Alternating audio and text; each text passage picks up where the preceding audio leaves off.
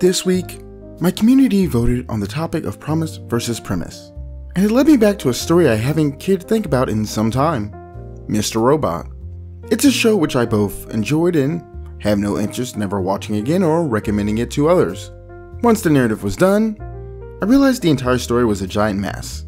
I think it is disjointed and grandiose as a complete narrative, though there are many elements within it I enjoyed. As for why, well, let's go to the Mr. Robot subreddit and look at the comments from those who were disappointed by the ending. There's a common thread which is important on this topic.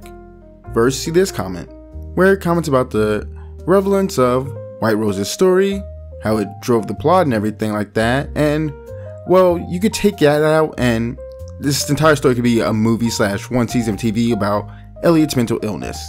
And they just comment about how, yeah, it was a great ride, but for all the build up, it was all for nothing.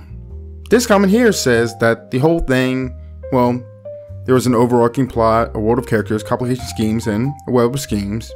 But clearly, the biggest message is that Elliot is all that matters, and the story is about him and his struggles, and everything else doesn't really matter. They felt baited by the hacktivism, and then they got a bunch of mental illness stuff. Another person said this as well that they felt that they got four seasons wasted over trauma, and if the intention was to be about his healing, that should have been the focus, not the C plot. Oh, and here's just one I want to grab because it'll be relevant for what I have to say later on. In this case, I just want to highlight how this person felt like they weaseled out of a sci fi situation. Now, having showcased all that, I think one of the issues this show has is how it executes on things given the premise, and more importantly, the promise. There was a huge misalignment of expectations, especially as the story went on. So, if you don't wish to end up displeasing people in this manner, or at least understand why someone might get upset, you should understand the concept of premise and promise. Think of your story as a meal you're serving to guests. The premise is like a menu description. It tells them what kind of dish they're going to get. Imagine you're describing a spicy chicken curry or a classic cheeseburger.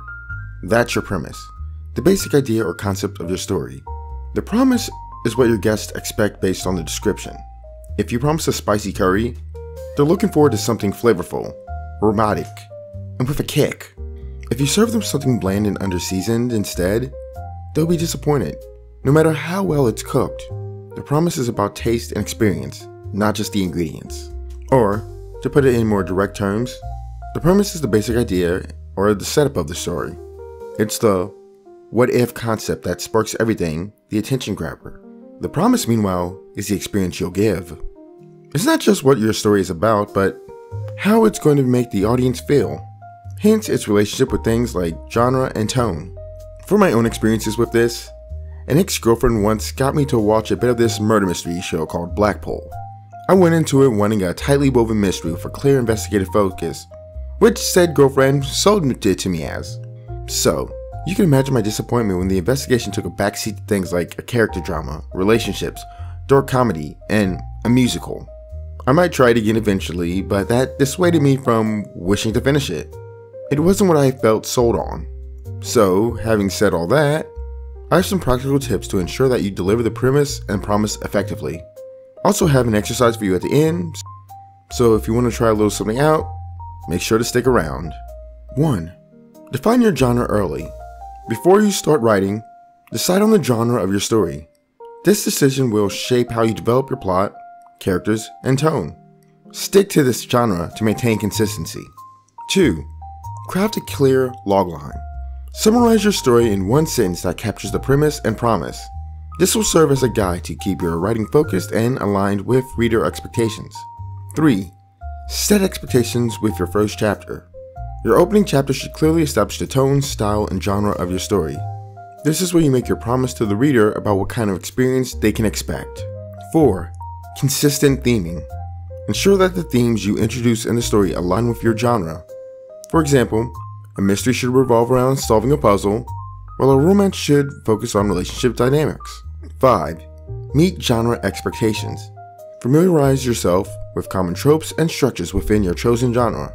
For example, a thriller often includes rising tension and a climactic showdown, while a romance typically leads to a satisfying emotional resolution. 6.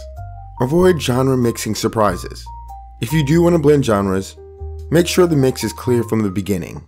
For example, if you're combining romance and horror, establish both elements early on so readers aren't blindsided. 7. Keep reader preferences in mind. Remember that readers of different genres have different expectations. A horror reader wants suspense and fear, while a romance reader looks for emotional connection. Respect these preferences throughout your story. 8. Test your premise with readers. Before committing to a full manuscript, pitch your premise and genre to beta readers or writing groups. See if they understand the story you're aiming to tell and if it aligns with the genre you're targeting. 9. Stay true to your story's promise. As you write, continuously check if the scenes, characters, and plot developments align with the promise you made at the beginning. If something feels off genre, reconsider its place in the story. 10. Use cover and marketing to reinforce your promise. Your book cover, title, and marketing materials should all reflect the genre and promise of your story. This consistency helps attract the right audience and set proper expectations. I'm confident that, if you follow these simple tips, you can ensure that your story delivers on the promise you made to your readers. To get practicing with this, here's an exercise. Choose three well known stories books, movies, TV show, manga, I don't really care and write down the premise and promise of each. Then, analyze how the promise is delivered through the genre, tone, and structure. Explore how the story might have failed or succeeded in keeping its promise to the audience. This should help you distinguish between the core idea and the emotional or genre based expectations.